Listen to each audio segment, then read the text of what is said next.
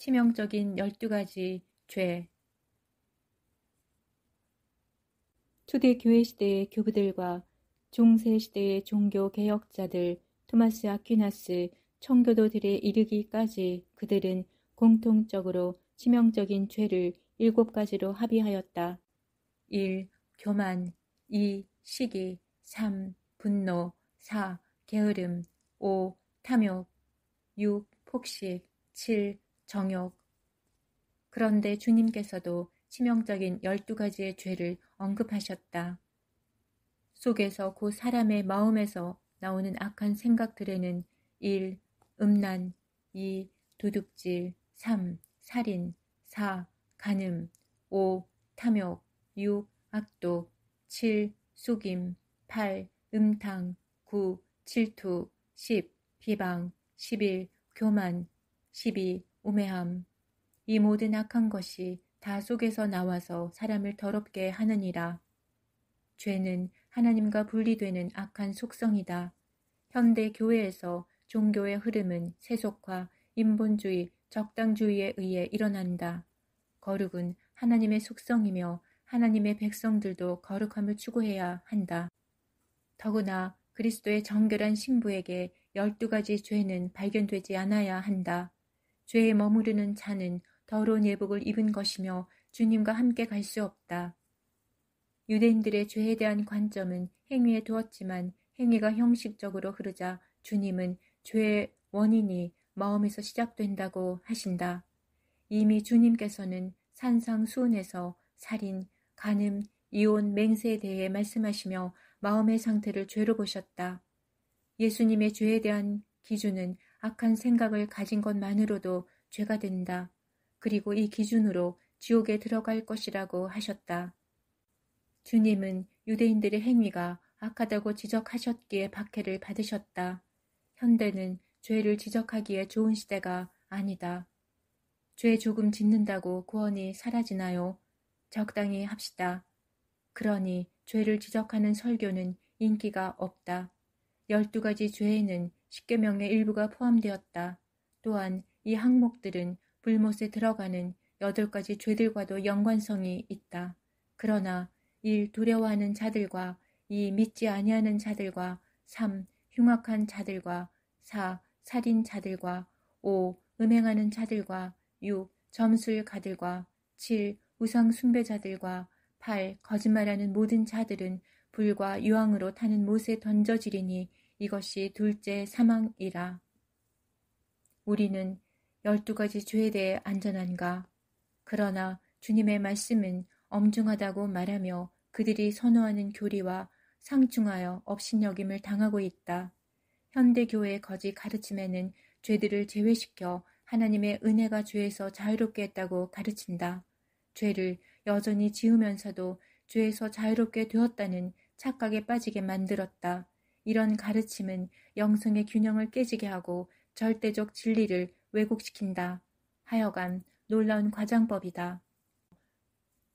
주님의 말씀을 대신하여 500년 전 교리가 아직도 교회를 장악하고 있다. 그러나 베드로가 성령으로 충만하여 외친 부활과 회개의 오순절 설교에서는 하루에 제자의 수가 3천 명이나 회개하고 믿었다. 교회를 부흥시키는 것은 교리가 아니다. 신자를 천국에 들어가게 하는 것은 교리가 아니다.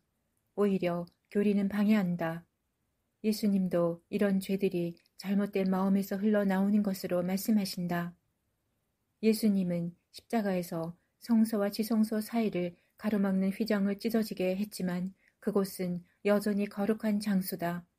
내가 곧 성령에 감동되었더니 보라 하늘에 그 보좌를 베풀었고 그 보좌 위에 앉으신 이가 있는데 앉으신 이의 모양이 벽옥과 홍보석 같고 또 무지개가 있어 보좌에 둘렀는데 그 모양이 녹보석 같더라.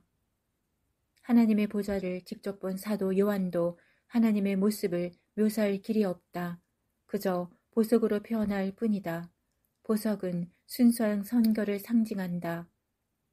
그리스도의 신부는 순결한 자들이다. 14만 4천 명도 여자와 더불어 더럽히지 아니한 순결한 자들이다. 마음과 말과 행위가 모두 순결하다. 천국에는 열두 가지의 큰 죄뿐 아니라 이보다 더 작은 죄를 가지고도 들어갈 수 없는 곳이다. 그런 까닭에 어린 양의 피는 회개하는 자들의 죄를 씻어준다. 하나님의 뜻은 인류가 모두 구원받기를 원하시지만 모든 사람이 구원을 받지는 못한다. 주님의 뜻은 모든 신자들이 구원받기를 원하시지만 모든 신자들이 구원을 받지는 못한다고 하신다. 인류가 구원을 받지 못하는 이유는 믿지 않기 때문이고 신자들이 구원을 받지 못하는 이유는 그들의 죄 때문이다. 바리새인들은 십계명을 지켰지만 그들의 마음은 여전히 더러운 상태다. 계명을 외형적으로만 지켰기 때문이고 주님은 제자들에게 너희 의가 서기관과 바리새인보다 더 낫지 못하면 결코 천국에 들어가지 못하리라 말씀하신다. 그런데 현대 교회는 행위를 더럽게 해도 괜찮다고 가르친다. 바리새인들은 마음이 더럽고 현재 신자들은 행위가 더럽다. 빈대를 잡으려다 집을 태워버리는 우매함과 같다. 그런데 그들도 심판을 받는다. 어떤 기준으로 그들이 심판을 받을까? 그들도 잘 알고 있는 성경에 기록된 예수님의 말이다. 예수님의 말씀은 곧 우주가 따라야 할 법이다. 나를 저버리고 내 말을 받지 아니하는 자를 심판할 이가 있으니 곧 내가 한 그 말이 마지막 날에 그를 심판하리라. 그때에 내가 그들에게 밝히 말하되 내가 너희를 도무지 알지 못하니 불법을 행하는 자들아 내게서 떠나가라 하리라. 불법은 악을 행하는 것이다. 불법은 하나님의 뜻과 어긋나는 삶이다. 하나님의 말씀에 불순종하는 자들이다. 그들의 삶이 경건하게 살지 못한 것으로 측정되면 천국에 들어갈 수 없다. 교회에 출석하는 모든 사람이 하나님의 자녀인 것은 아니다. 그들 중에는 쭉정이와 염소와 가라지가 있다고 하신다. 스스로 속이는 자도 있고 스스로 착각하는 자들도 있다. 그러므로 누구든지 나의 이 말을 듣고 행하는 자는 그 집을 반석 위에 지은 지혜로운 사람이다. 행동하지 않고 삶이 변화하지 않고 말만 하는 것으로는 부족하다. 듣기만 하고 실천하지 않는 것도 부족하다. 히브리어뿐 아니라 헬라어도 순종할 때까지는 말씀을 들었다고 인정하지 않는다. 말씀을 듣고 순종할 때 비로소 들은 것이다. 보라, 내가 도둑같이 우리니 누구든지 깨어 자기 옷을 지켜 벌거벗고 다니지 아니하며 자기의 부끄러움을 보이지 아니하는 자는 복이 있도다. 자기 두루마기를 빠는 자들은 복이 있으니 이는 그들이 생명나무에 나아가며 문들을 통하여 성에 들어갈 권세를 받으려 함이로다. 우리가 즐거워하고 크게 기뻐하며 그에게 영광을 돌리세 어린 양의 혼인 계약이 이르렀고 그의 아내가 자신을 준비하였으므로 그에게 빛나고 깨끗한 세마포옷을 입도록 허락하셨으니 이 세마포옷은 성도들의 옳은 행실이로다. 최악의 상태는 미지근함과 세속적인 신앙으로 벌거벗은 상태다. 중간 상태는 죄로 더럽혀진 옷을 입고 있는 자들이다.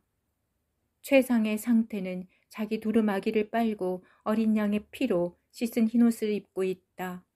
어떤 일이 일어날지 모르고 한치 앞을 예상할 수 없는 지금 무엇을 할 것인가? 회개하고 보혈로 씻고 점도 흠도 없이 준비된 상태로 있어야 한다.